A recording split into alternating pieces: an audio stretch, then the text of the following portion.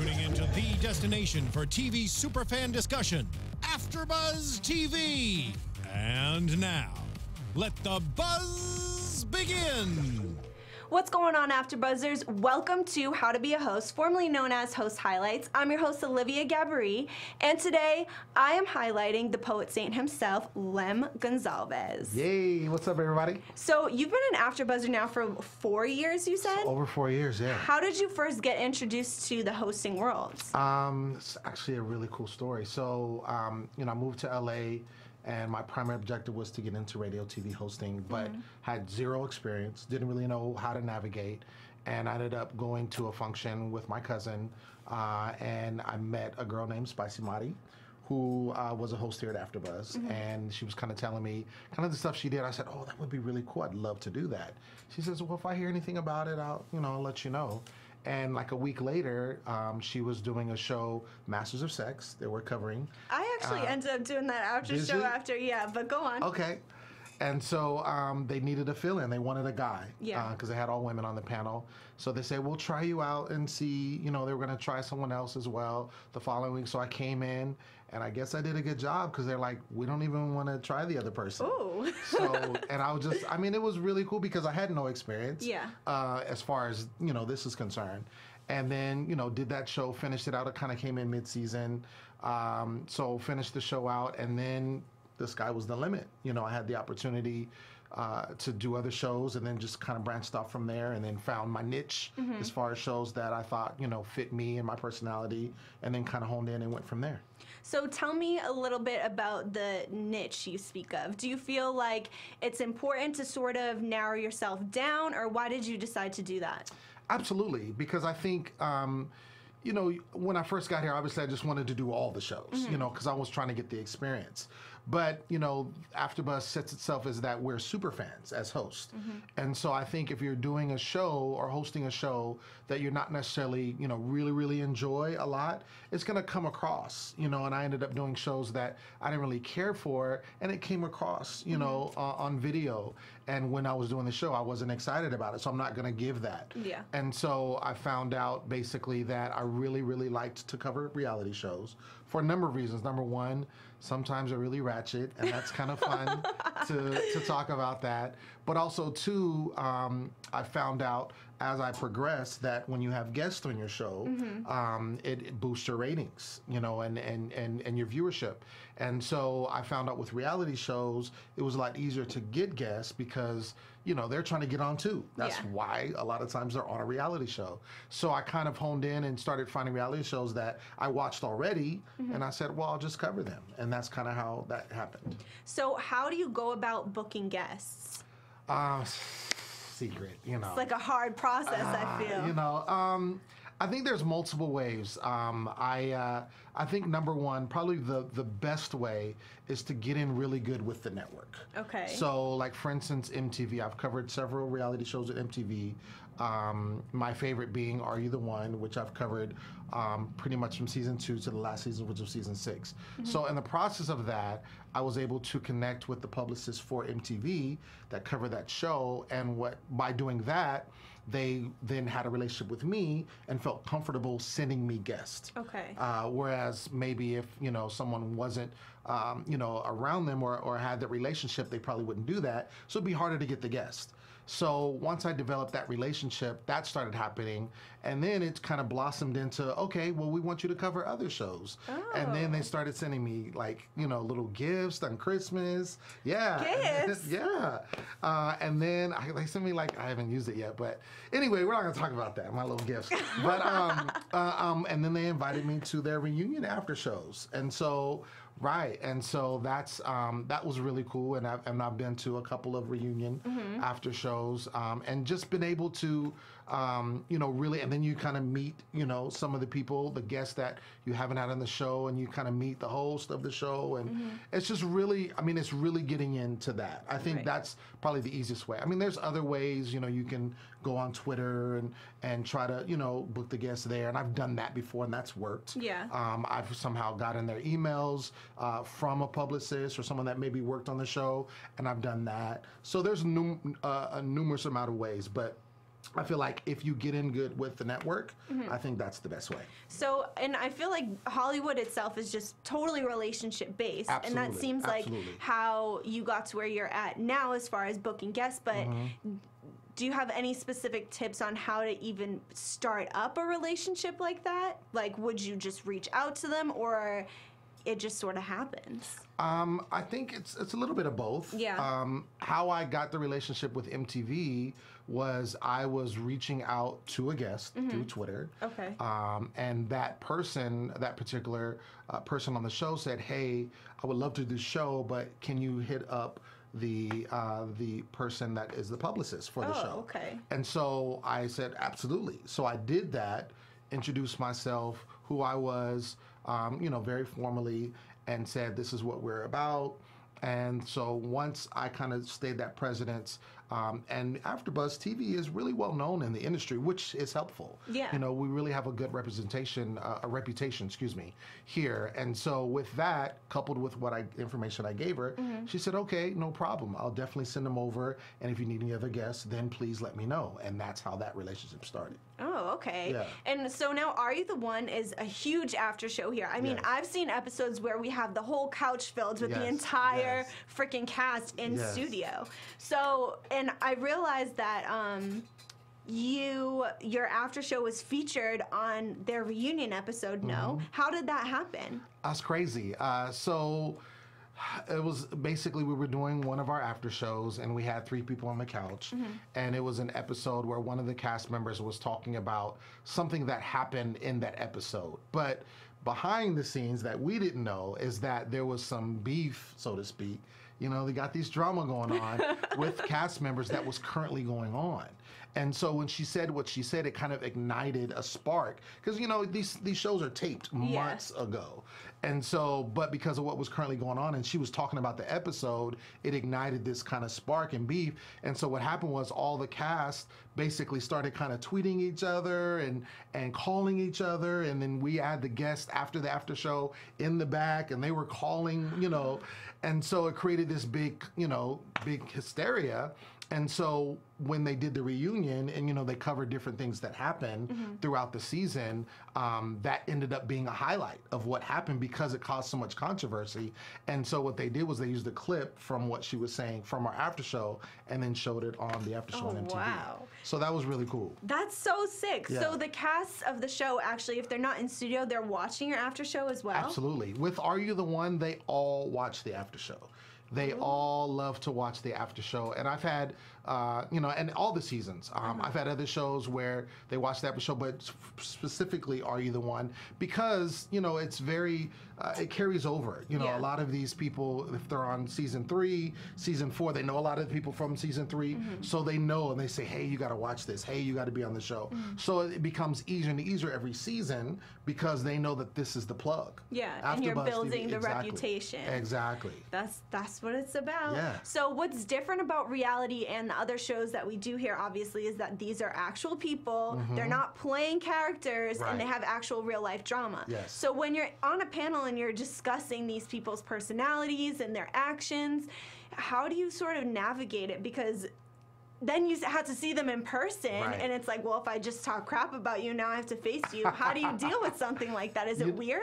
Uh, you know, it's funny because it happens all the time. Because you know, when we're doing these shows, we have our opinions. You Mm-hmm. know, we're very opinion based about things that happen, uh, and a lot of times we don't really know the true story, the Mm-hmm. whole story, I should say. And so, a lot of times when we've maybe talked crap about somebody, and then we get them in the studio, you know, we'll talk about it. We'll be Mm-hmm. like, "Yo, okay, look, this is the deal." I talked really bad about you. Why don't you tell me your side? Because Okay. they don't get the opportunity to do that on the show. We're watching the show. But when they come on the after show, they and that's why a lot of times they love because let's say they're painted as a villain on their show um, that they're they're doing, they end up basically being able to tell their story. Like this is how it really happened. It really wasn't that bad. Or I was edited to be this person, and so they end up coming on, and we get the real story, and then we're like, okay, cool.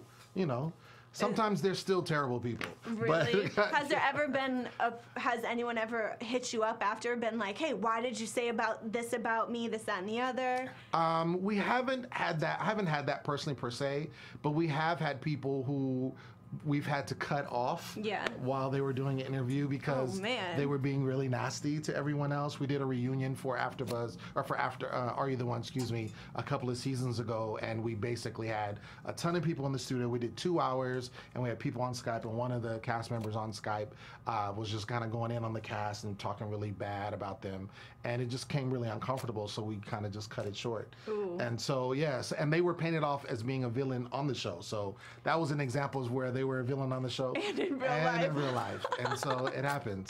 Oh man! So uh, outside of uh, the AfterBuzz studio, you also do a couple other things, including spoken word poetry. Yeah. Mm-hmm. Yes. But that came before hosting. Oh yeah, I've been doing that. Oh gosh, for years. I've been performing probably since uh, 2004, Mm-hmm. um, and uh, been touring. I've I've traveled around the world, you know, performing. Really? Yeah, and so it's been a, a passion of mine. I've competed. I've been in the competition circuit, Mm-hmm. um, and so uh, I've recently actually signed uh, to an agency to Wow. to book colleges.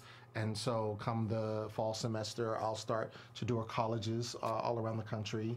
And so, and the sky's the limit. You know, I actually Mm-hmm. just uh, submitted my information uh, to a promoter that um, has shows in Dubai. And For so, real? Yeah, yeah. Wow. yeah. So that could be a possible destination. That's so it. awesome. Yeah. And I know, I mean, it's different from hosting, but I feel like you're on stage, you're in front Mm-hmm. of people, you're behind a mic. Do you ever feel like skills from one or the other sort of come in handy sometimes? Yeah, I mean, I think the presence of, Mm-hmm. of being like performing on stage, I think that definitely helped me in hosting because number one, it helps me to be comfortable in front of a microphone. Yes. Um, also, it gives me a sense of stage presence, even though we're behind a desk and we're not performing when we're hosting. And a lot of times we are because we have to make sure we carry on a conversation, we have to navigate. There's a lot of things that we do uh, to make sure that we have a good show. And I feel like a lot of that I learned from performing and, and doing featured shows and, and even hosting. I, I hosted poetry events, so that helped as well um, in, in coming across on this end and, and hosting these after shows. Oh, okay. Absolutely. Yeah, I feel like it's it's funny how you just get into one thing and it pushes you into the next and the next, and that's especially the game here in Hollywood. Mm-hmm. Sure. And you were recently telling me as well that you're getting more into commercial acting too. Yeah, I actually just took uh, a class Uh-huh. um, at the beginning of the year in January. And so I took a, a four week class. And so after that class, they kind of sent a video out. And so I got hit up by a couple of agencies. And so Ooh. I actually have a meeting tomorrow, to be exact. And so I'm really excited. And so I hope to uh, to sign with someone here soon.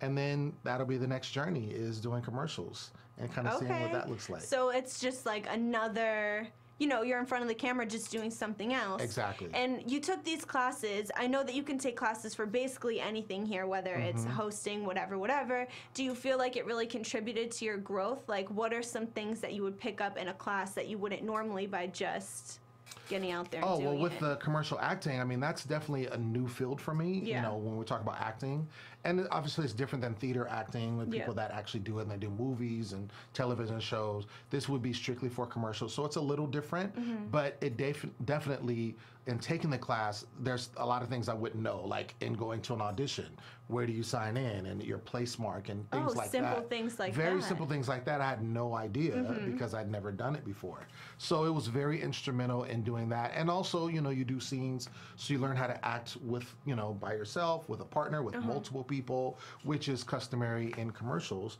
And so, yeah, it was extremely helpful. I mean, also, I did it because I want to know is this something I want to do? Yeah. You know, if I took the class and it was like, I don't want to do it, then it's like, okay, moving on. Now, do you feel like having experience as a host almost gave you a leg up in that way, or are they completely different? No, it's funny because it did. I, I remember the first scene I did, the instructor, you know, I did the scene Mm-hmm. and I was fairly comfortable. Um, again, you have a camera in front of you and you're doing the scene. Yeah. And so he, afterwards, he says, stand up. He thought I was a stand up comedian Oh. um, because I was so comfortable in front of the camera um, and doing what I was doing. And I said, no, I'm not. I said, but I am a host and I've done that for, you know, several years. And so I think that's where that comes from. So yeah, he noticed it right away. Did you surprise yourself in a way almost? A little bit. I mean, I feel like, you know, You know, got you got it now. You I got it some going stuff, on. you know, you know, you know. but no, I mean, I think I think I'm always trying to push myself. Yeah. You know, um, I feel like being here um, in a city like LA, you know, it's you, you know, people are always on their grind. Yes. They're always um, trying to get a leg up on things because it's a lot of competition. Mm-hmm. And so my thing is, if there's something I feel like I can do, the opportunity is there. I'm gonna see if I can do it. Yeah. You know, and if I can't, then oh well. But if I push myself and I find out that it's something that I can do, then cool. That's something else to to Mm-hmm. add to the belt. And you gotta gotta stay sharp. Exactly. So here at AfterBuzz, I know you uh, you have a show coming up. It's another reality MTV show, yeah. Yes. What show Super is that? Super excited. Ex on the Beach. Yes. Ex on the Beach. Yes, they've had uh, several adaptations um, on the UK Uh-huh. side, and so matter of fact, um, for this last, I'm a big fan of MTV's The Challenge as well. Okay. And they had some of the cast members from uh, the UK version uh, of it on the challenge, Mm-hmm. this current season of the challenge that's airing right now. So they decided to bring it to the US. So they're going to have, um, of course, you know, previous MTV people that been on the challenge. Uh, Are you the one? They're even cross going over into other reality shows. I think Oh. The Bachelorette. Uh, people from there, uh, Big Brother. Yeah. So there, it's it's this cross culmination of, of reality, you know, reality people, and uh, it's a great premise to the show. Um, I'm really excited because I know there's going to be some ratchetness. There's going to be some heartache. Oh, there's going to sure. be, you know, probably some fight. I mean, the things that we like in these shows. Yeah. Um, but ultimately, um, a lot of the same cast that I've had in previous Are You the One and, and that I've done with MTV's The Challenge are going to be in the show. So it'll be exciting Mm-hmm. to have them back on and, and on that and get their take on that as Oh, well. so this is right in your lane. Super in my life. Yeah, and when does that start up? Uh, April 19th. Just April found out today, actually. Uh, April right. 19th. It's going to be on Thursdays at 9 p.m. Eastern. So, yeah. So We'll mark it on our calendars. Yes, please do. Please All do. Well, thank you for joining me tonight. I'm so Yeah. glad I got to learn a little bit more about you as a host, Yeah. and I've learned so much about this whole like reality thing. I Yeah. feel like I have to get on some AfterBuzz reality shows. You need to. Um, but again, thank you guys for tuning in. I'll catch you next week, Thursdays at 9 p.m. I'm your host, Olivia Gabaree. You can hit me up at the real underscore O underscore G. And where can everybody find you at? Uh, you can find me everywhere at The Poet Saint all day, every day. All right. Thanks, guys. From executive producers Maria Menounos, Keven Undergaro, Phil Svitek, and the entire AfterBuzz TV staff, we would like to thank you for listening to the AfterBuzz TV network. To watch or listen to other after shows and post comments or questions, be sure to visit AfterBuzzTV.com. I'm Sir Richard Wentworth, and this has been a presentation of AfterBuzz TV. Buzz you later.